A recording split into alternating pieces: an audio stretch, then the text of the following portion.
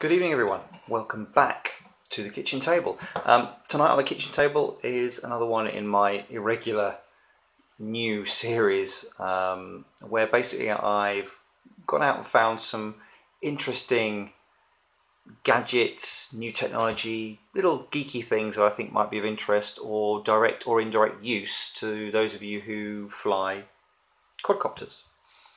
Um, so tonight we're going to be dealing with something that's close to my heart. One of my geeky tendencies is about the weather. But before we get to that, we better have a look at the beverage of choice this evening.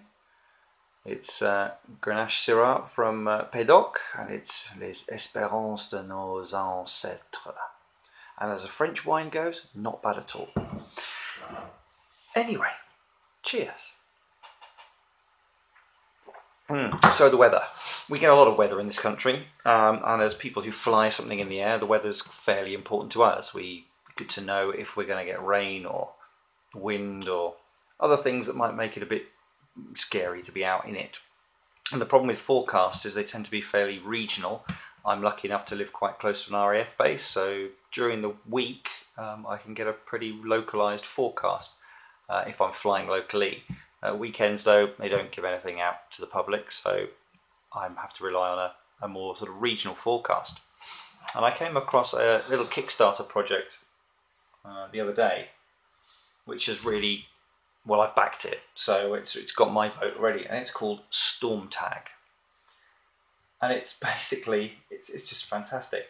It's basically a tiny, waterproof personal weather station. It runs via Bluetooth, it talks to an app on your phone and can track.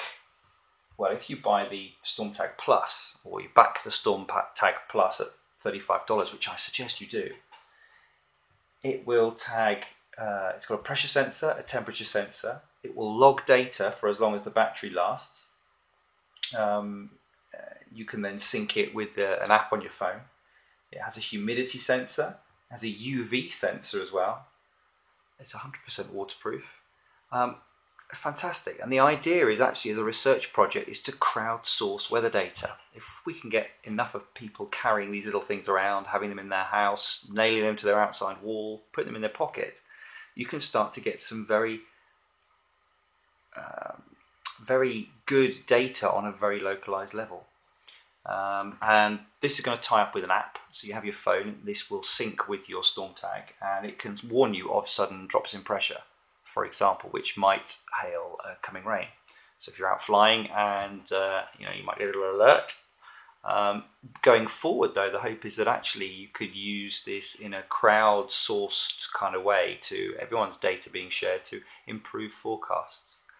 Um, but beyond that, this is a, this is a little weather data logger in your pocket. I mean, it's the size of you can see here. It's probably the size of a standard SD card, A bit bigger. It's tiny. It can go on a key ring. It can go anywhere. Um, I don't know if you're interested in in sort of you know some of the data it carries. You could even quite easily strap one to your quadcopter and take it up a couple of hundred feet, see what's happening to the uh, to the temperature up there. Um, just really interesting, really interesting concept. Um, and uh, you know just a very enthusiastic um, pitch video as well by John Atherton, who's the um, who's the guy behind this.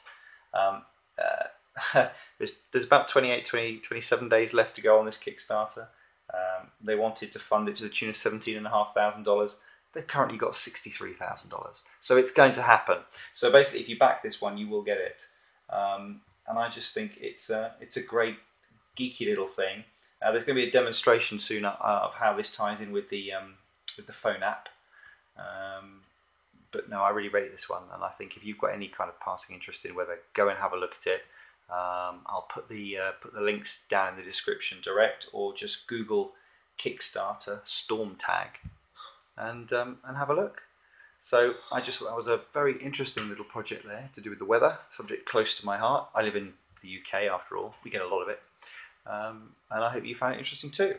Uh, that's it for tonight, and we'll see you again soon back on the kitchen table. Cheers.